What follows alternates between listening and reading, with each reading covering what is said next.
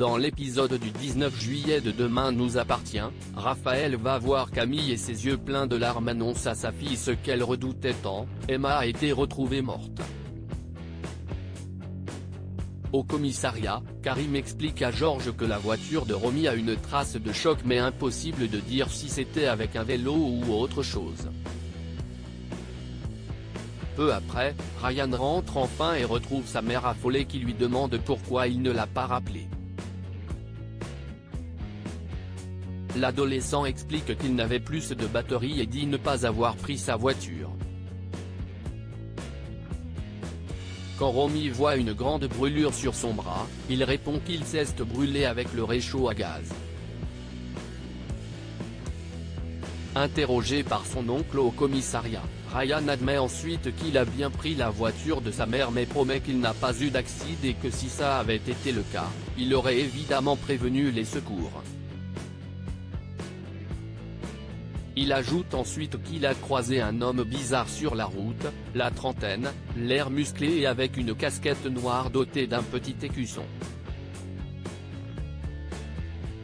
En montrant à Karim où il l'a croisé, le policier réalise que c'était près de chez l'oncle et la tante de Sarah. Chez ces derniers justement, Violette entend les dernières nouvelles sur la mort d'Emma que Sarah partage.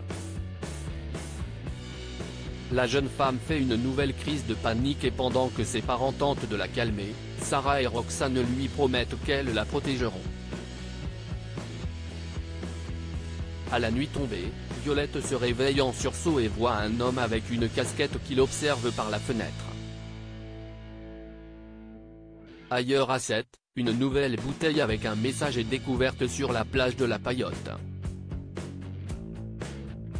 En voyant des paroles de chansons des Doors, Charlie devine que Nathan lui a menti et qu'il n'est pas à l'origine de ces messages. Aaron et Lisa bientôt en couple dans Demain nous appartient Quand elle en parle à Gabriel, Charlie explique qu'elle pense qu'il s'agit d'un crush qu'elle avait eu aux États-Unis et qui serait à 7 et en profiterait pour renouer contact. Elle n'hésite pas à l'ajouter sur les réseaux sociaux pour en savoir plus. Enfin Lisa culpabilise toujours d'avoir causé l'entorse d'Aaron. Pour paraître vulnérable, ce dernier fait croire que sa blessure est plus grave qu'elle ne l'est, ce qui pousse Lisa à être au petit soin avec lui. Course, repas à domicile. La policière se plie en quatre pour le médecin. Seulement Aaron commence à être gêné par son stratagème, notamment quand Lisa lui confie apprécier son honnêteté, et prend ses distances, ce qui accentue la confusion de Lisa quant à une éventuelle relation avec lui.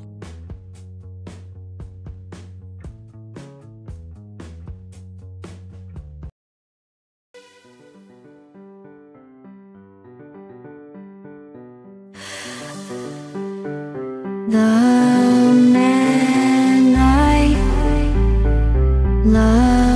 just have